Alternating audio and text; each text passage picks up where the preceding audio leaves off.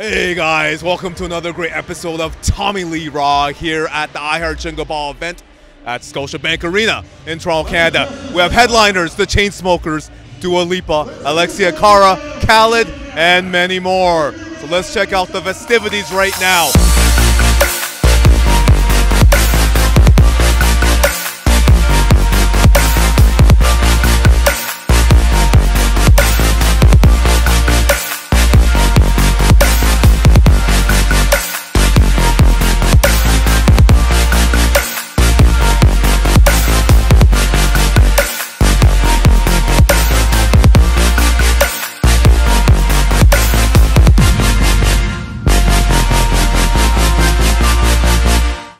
All right, guys, that was a great event here at Scotiabank Arena, iHeart Radio Jingle Ball.